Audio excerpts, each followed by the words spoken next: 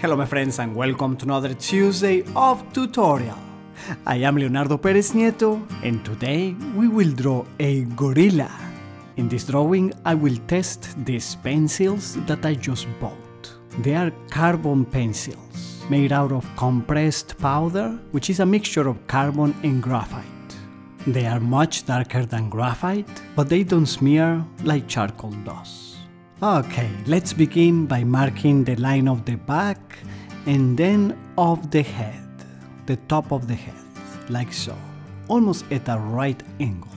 The top of the head is fairly flat and here is the brow bone, which is very pronounced in these animals. Then we have the nose that comes down here and then the lips the lower jaw sticks out more than the upper one. Let's draw an arm, this will be the forearm, and he will be resting the head or the jaw on his wrist. To hold the pencil for this drawing, I have mainly been using the backhand grip and the brush grip, and I'm trying to do the strokes all the way from my shoulder, especially for the long lines of course. And for the sketch, I chose to use the 2B pencil, which is the hardest of the ones in the box.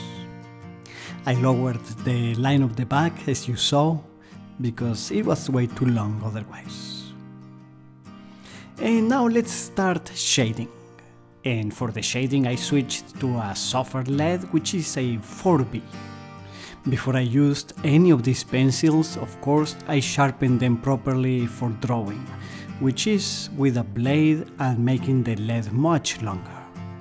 Much longer than what it comes from a regular hand or automatic sharpener. If you want me to show you how to sharpen a pencil for drawing, please let me know in the comments and I'll make a tutorial on that. Or maybe everybody knows that already so it is not needed. Let's work on the shoulder, the arm and the hand a little bit, although I don't want to put a lot of work on this because I want them to be just sketching so that the attention of the viewer goes to the face and the head of the gorilla. For the really blacks, I'm using an 8B, which is the softer of all.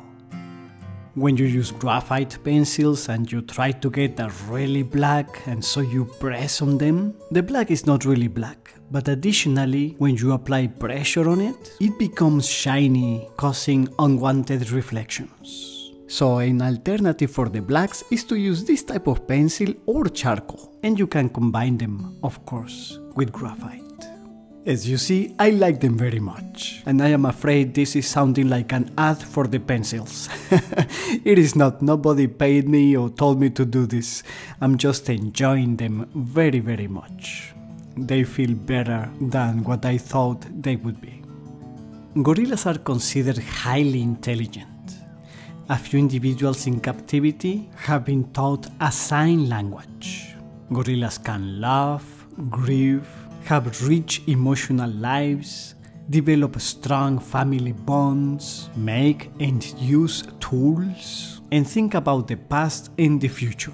Unfortunately, they are critically endangered due to habitat destruction and hunting. We should take care of them because they are definitely fantastic creatures. They are so full of personality. We give it the last touches and it's ready. If you enjoyed it, please give it a like, share it to your friends, and subscribe to Fine Art Tips. I want to wish you a fantastic new year, and I will see you on Tuesday.